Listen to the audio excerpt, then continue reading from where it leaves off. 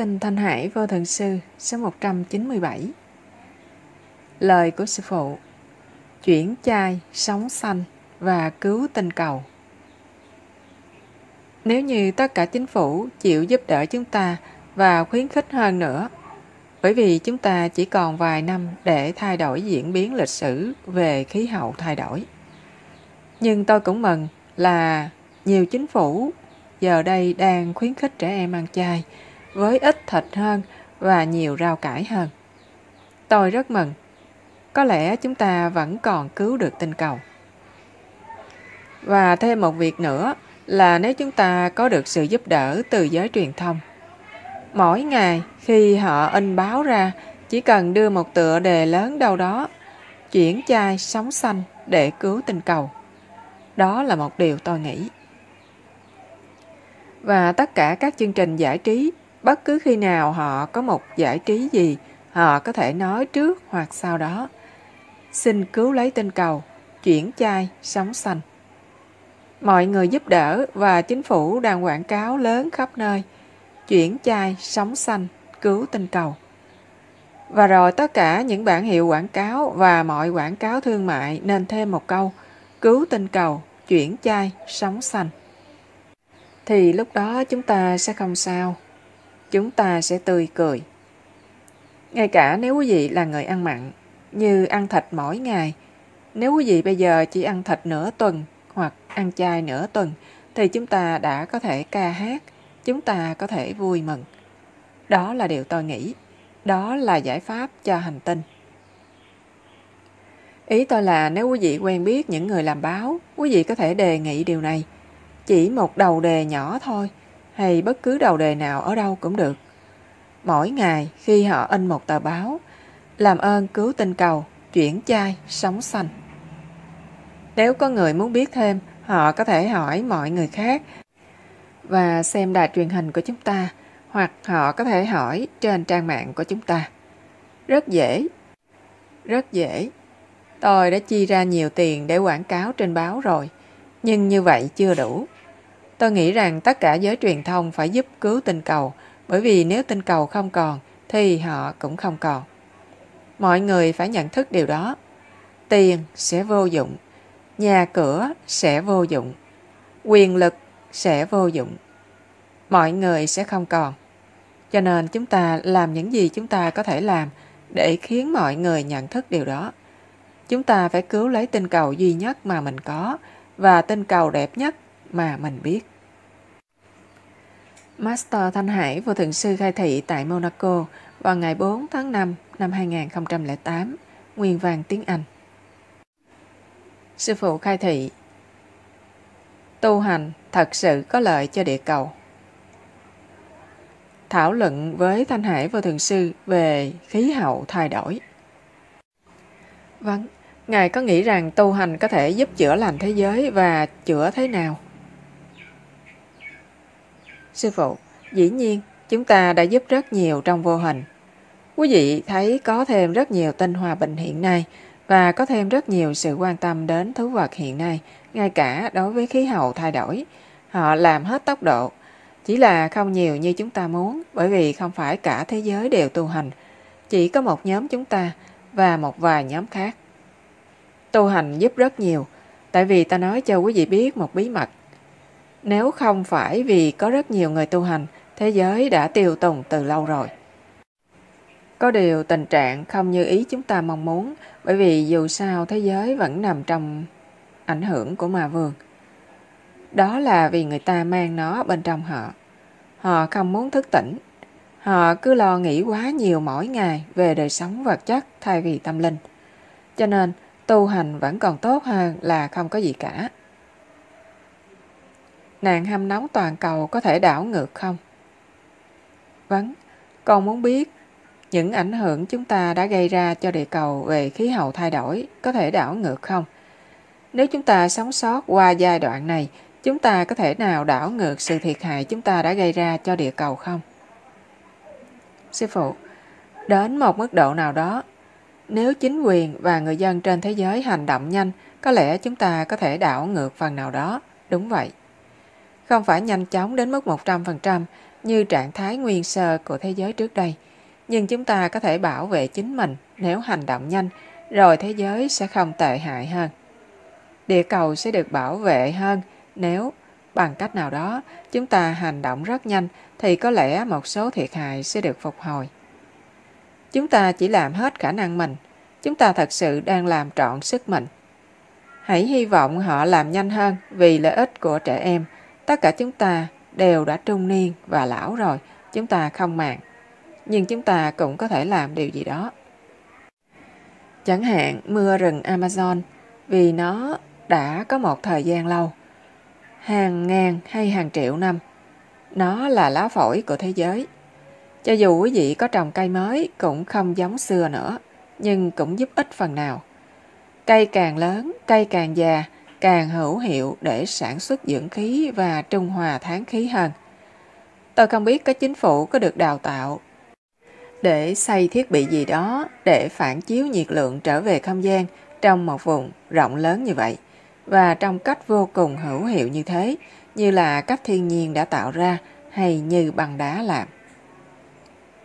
Nguyên nhân khí hậu thay đổi là bây giờ. Vấn, sư phụ, con xin hỏi Ngài tại sao tất cả những điều này xảy ra cho chúng ta trong thế hệ này? Sư phụ, bởi vì nghiệp quả tích lũy, cần thời gian để tích lũy cho đến khi lên tột đỉnh. Cũng như La Mã không phải được xây trong một ngày. Ngay cả với tất cả những giáo lý của các vị minh sư từ thời xưa, người ta không chịu nghe, và đó là lý do nó xảy ra. Chuyện này thỉnh thoảng cũng xảy ra, đây không phải lần đầu. Quý vị nhớ lục địa Atlantis và những chuyện đó cũng đã xảy ra tương tự và vào thời kỳ của Noah. Cho nên, ông phải đóng một chiếc thuyền và những chuyện như vậy. Cho nên, đây không phải lần đầu. Và gần đây, người ta thậm chí tìm thấy một thành phố mới dưới đáy hồ ở đâu đó.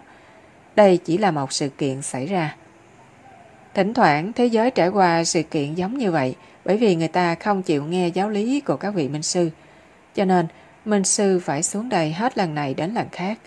Các vị minh sư khác nhau xuống đây bảo con người hãy ăn chay, làm người đạo đức, thiện lành, từ bi. Nhưng không ai chịu nghe hoặc không bao nhiêu người nghe. Họ còn thậm chí khủng bố những người nghe hoặc vị minh sư. Do đó, nó chỉ phải xảy ra thỉnh thoảng khi nó tích tụ đủ nghiệp chướng, đủ lực lượng hủy diệt. Nhưng chúng ta có mọc trắng, chúng ta có lực lượng, tốt là chỗ đó. Mọi người trước sau gì cũng chết. Không hôm này thì hôm khác. Câu hỏi là họ sẽ đi đâu hay quý vị đi đâu? Quý vị ở dưới mọc chán bảo vệ của Minh Sư nếu quý vị nghe theo mọi điều đạo đức và tốt tử tế và từ bi thì quý vị sẽ an toàn trên thiên đàng cao. Đa số người không biết gì về hậu quả bởi vì họ bị một số gọi là lãnh tụ tôn giáo dẫn dắt sai lạc. Nhưng dù vậy, họ cũng sẽ được giúp đỡ bởi lực lượng minh sư của hiện tại và họ cũng sẽ được nâng lên một loại thiên đàng nào đó. Cho nên, những phần tử thật sự xấu phải đi địa ngục, thế thôi. Nhưng đây không phải là câu hỏi về chết hay không. Câu hỏi là họ được giải thoát hay không. Cho nên người thế gian đã được giúp về tâm linh. Linh hồn của họ được giải thoát bởi vì không hẳn là lỗi của họ. Không hoàn toàn là lỗi của họ rằng họ ăn thịt. Không phải lỗi của họ rằng họ không hiểu thánh kinh hay giáo lý của Đức Phật bởi vì không ai thật sự giải thích cho họ một cách đúng đắn. Cho nên, những người đã được thọ tâm ấn họ chắc chắn được bảo vệ, dĩ nhiên là nếu họ làm theo. Nếu họ phá bỏ thì họ cũng phải nhận lãnh hậu quả. Và người khác, những người không làm gì sai, chỉ làm theo đám đông và thật sự vô minh thì cũng đã được giúp. Linh hồn họ sẽ được giúp. Vấn, phần lớn đều đồng ý nạn khí hậu thay đổi đang xảy ra, nhưng một số người vẫn không tin là do con người tạo ra. Sư phụ, à, hầu hết thời gian là do con người tạo ra. Mọi người bây giờ đã biết. Vẫn, một số người vẫn nói rằng họ không chắc là điều đó là do con người tạo ra. Sư phụ, còn ai khác nữa? Còn gì khác gây ra tháng khí từ xe hơi? Quý vị nghĩ người ngoại tinh lái xe của chúng ta và người ngoại tinh ăn thịt. Vấn, thưa sư phụ, một câu hỏi khác là nếu Ngài có một thông điệp cho thế giới, đó sẽ là gì? Sư phụ, là tôi thương họ rất nhiều bởi vì tôi biết không phải lỗi của họ, bất cứ gì họ làm. Đó chỉ là bức màn vô minh bao phủ lên họ và khiến họ không biết gì về chân lý. Họ cũng đã bị dẫn lạc lối bởi hoàn cảnh và bởi những người không hiểu giáo lý của mình Sư. Cho nên, tôi chỉ có thể nói với họ vậy thôi. Tôi thương họ rất nhiều. Tôi cảm thấy tội nghiệp họ hơn là trách cứ. Cứ làm hết sức mình để giúp mọi người trở thành trường trai.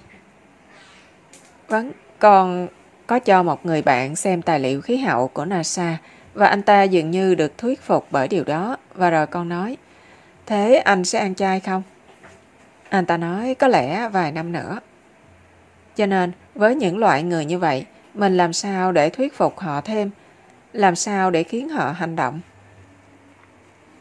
Sư phụ, tôi không thuyết phục ai cả. Tôi không biết làm sao. Tôi đã làm việc này mấy năm nay và không bao nhiêu người ăn chay.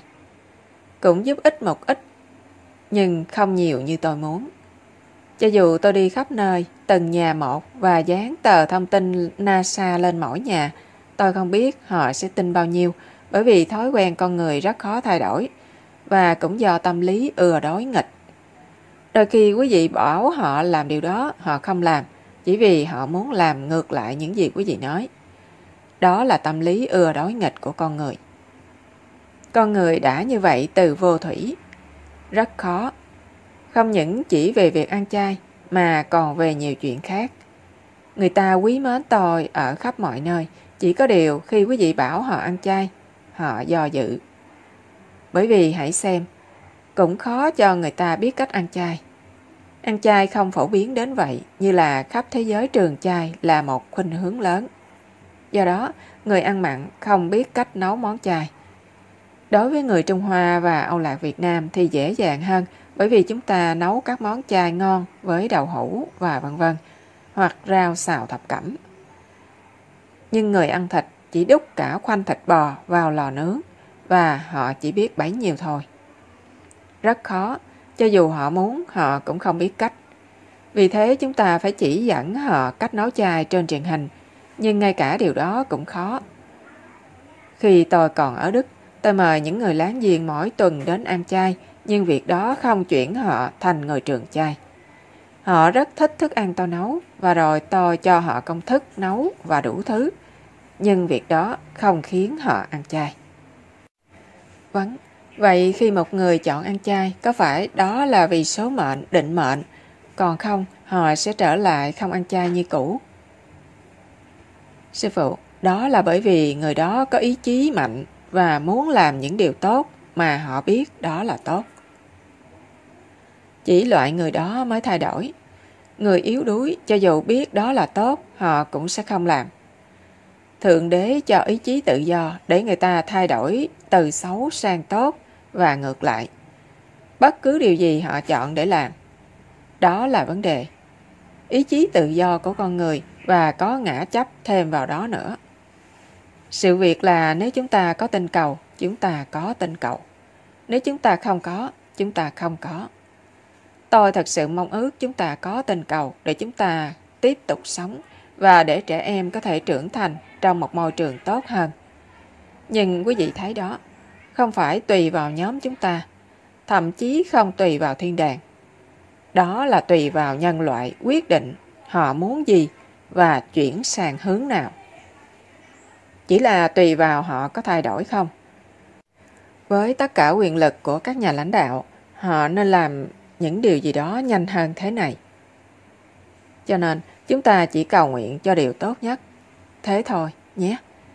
Nếu một nửa dân số của tình cầu ăn chay, đó sẽ là một tin tuyệt diệu rồi. Khí hậu thay đổi không có nghĩa là chỉ là nóng mà thôi. Đó có nghĩa là sự thay đổi của khí hậu trên khắp thế giới và có rất nhiều thiên tai thường xuyên. Những nơi nóng trở thành lạnh và những nơi lạnh trở thành nóng. Và rồi nó trở thành đủ loại rối loạn sau đó và rất nhiều khổ sở cho con người sau này với nhiều quốc gia, nhiều thành phố sẽ bị chìm dưới nước, đại khái vậy. Và nhiều bão tố như nhiều mưa giông hơn, rất nhiều trước khi thật sự chấm dứt. Nó không chấm dứt như thể được bây giờ sẽ chấm dứt và hết, không phải vậy. Sẽ có đau khổ một thời gian và rất nhiều người sẽ đau khổ và họ sẽ không hiểu tại sao. Cho nên chúng ta liên lạc với mọi người như chính trị gia và báo chí. Cứ viết thư cho họ hoặc gửi những tờ thông tin đến họ. Cứ làm bất cứ điều gì chúng ta có thể để cứu thế giới. Mỗi một người chúng ta đều có trách nhiệm. Chúng ta làm điều gì đó khi mình có thể. vấn dữ kiện từ bài tường trình khí hậu của NASA cho thấy băng đá ở Bắc Cực sẽ tan hết vào năm 2012. Điều này trùng hợp với lịch sách của người Maya. Đây có phải là một sự trùng hợp hay là điều gì khác? Sư phụ, có lẽ không phải sự trùng hợp. Có người thấy được, một số người thấy được chuyện tương lai, nhưng người ta không thể thay đổi. Sự việc là họ có muốn thay đổi không? Họ có đủ kiên quyết để thay đổi hay không? Tôi cố gắng ở bất cứ mọi nơi tôi đến, nhưng không dễ như vậy. Chương trình của chúng ta và tờ thông tin và các bài giảng thay đổi rất nhiều người, hàng triệu người, nhưng như vậy không đủ. Cấm thịt như một chất tài hại. Vâng, con xin hỏi nếu Ngài có một thông điệp cho các nhà lãnh đạo trên thế giới, Ngài sẽ nói gì với họ? Sư phụ, tôi sẽ nói với họ dùng quyền lực mạnh mẽ của họ để thay đổi lối dinh dưỡng của tình cầu. Áp dụng lập tức kỹ thuật mới và năng lượng tái tạo và tự mình làm gương bằng cách trở thành người trường chai hoặc thuần chai. Thay đổi lối dinh dưỡng của họ, dùng quyền lực mạnh mẽ của họ, dùng tấm gương của họ để lập một mối dinh dưỡng mới cho tinh cầu, trường chai. Họ trước tiên phải ăn chay và rồi họ có thể thật sự dùng quyền lực của họ. Giống như cách họ cấm hút thuốc, họ cũng có thể làm vậy bằng cách cấm ăn thịt bằng cách kể ra tất cả các điều hại mà thịt có thể gây ra cho con người và tinh cầu. Họ có thể làm vậy giống như cấm hút thuốc. Cấm ăn thịt cũng giống như cấm hút thuốc và ma túy. Đó cũng là một loại ma túy có hại khác. Vâng, thế còn các nền văn minh khác trong vũ trụ có cùng vấn đề hay không? Sư phụ, họ có. Bất cứ nơi nào có người và hành tinh những chuyện này có thể luôn luôn xảy ra. Một khi kỹ thuật được phát triển đến một mức độ cao nào đó, những ảnh hưởng phụ sẽ theo sau. Nếu con người không vững vàng hay phát triển về tâm linh, thì sự phát triển kỹ thuật chiếm ưu thế sự quân bình tâm linh và họ sẽ phá hủy tinh cầu của họ. Vâng, thưa sư phụ, chúng con xin nhân cơ hội này cảm ơn Ngài đã nhân từ nhận lời cuộc hỏi ý về môi sinh này. Với tất cả việc làm và sự khích lệ Ngài đã ban cho chúng con, chúng con xin cảm tạ. Chúng còn thương Ngài rất nhiều. Xin cảm ơn Ngài. Sư phụ, tôi cũng thương quý vị. Thiên đàng thương quý vị. Tất cả thú vật thương quý vị và tôi thương quý vị. Mọi người vỗ tay. Khán giả, chúng con thương Ngài. Và vỗ tay. Master Thanh Hải Vô Thượng Sư khai thị tại hội thảo truyền hình với nhân viên của truyền hình Vô Thượng Sư tại Los Angeles, California, Hoa Kỳ vào ngày 20 tháng Giêng năm 2008, nguyên vàng tiếng Anh. Bản tin số 197